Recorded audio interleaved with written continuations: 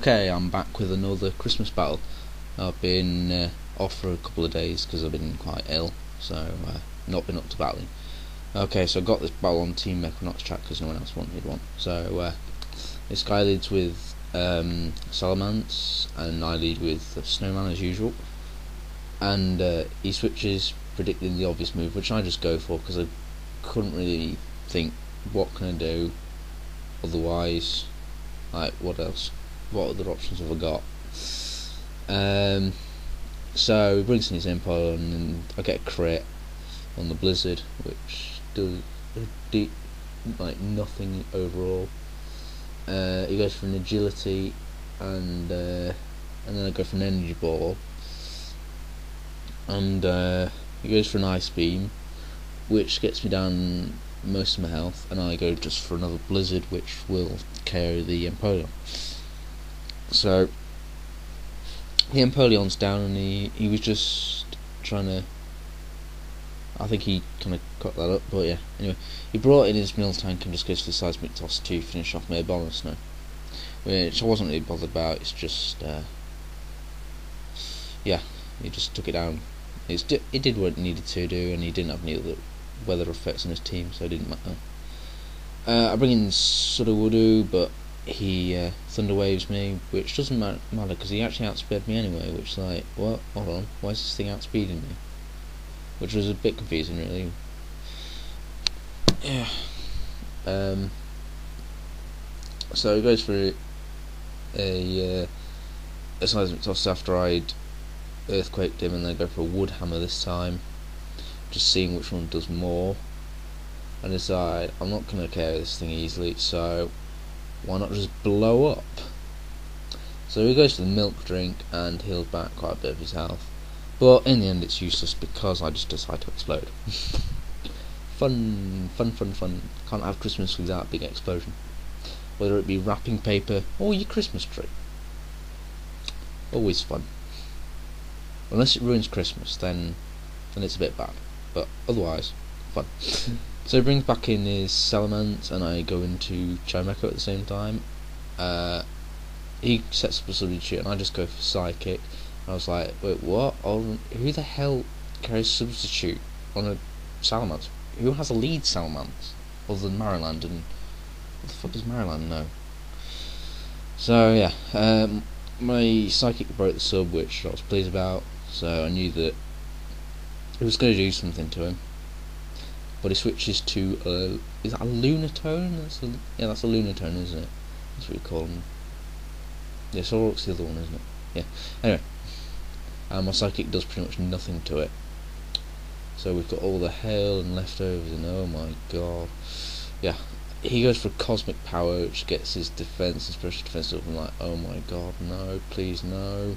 We go for the shadow ball, and that does nothing at all. Like, oh god. I am so dead.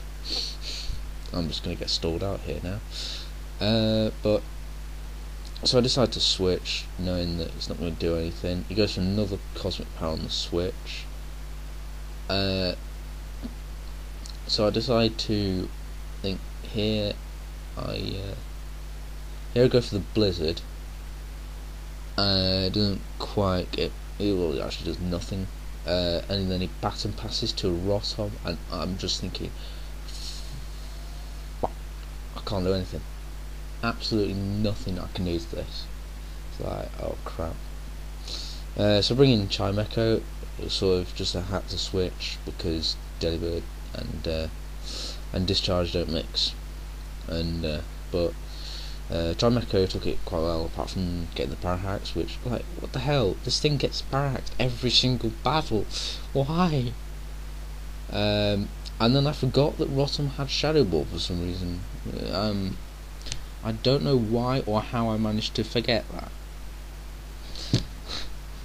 Um, so he takes down my Chimecho, and I'm starting to run out of ideas. So I bring in Stantler this time and goes for Will-O-Wisp.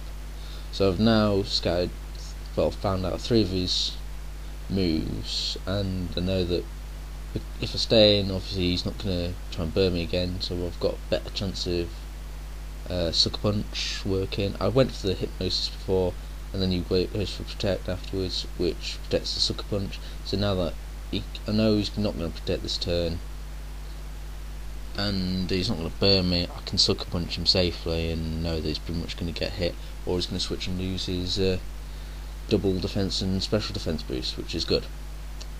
And then he goes for the discharge, which takes down uh, Rudolph. Uh, despite the fact my sucker punch not a lot really. Um, I was kind of disappointed. So I brought in uh, Santa, went for the Blizzard, which got him down into sort of more orange range. Uh, goes for discharge, discharge, which KOs Santa. So I'm down to my last one, which I think, yeah, yeah, I think it's down to my last one. Yeah, uh, my Christmas star, which is Starmie, and I go for Blizzard, and uh, that finally KOs the the Rotom, which I was quite pleased about. Finally getting into that. Um, and this is pretty much a good game here because I go for Blizzard again, and it um, gets a crit on the Leafeon, and at this point he then brings in his Salamence and then decides to run. Um, he was like, "What the hell? Why do you have got so many life orb users?" And uh, be honest, I don't know. Fun, just offensive, really. Um, yeah, he was saying like cheap stuff in the end wins, but he was going serious. I was going fun, so I didn't think it, Starmie was that cheap. So good game anyway. Uh, thanks. Rate, comment, subscribe. Bye.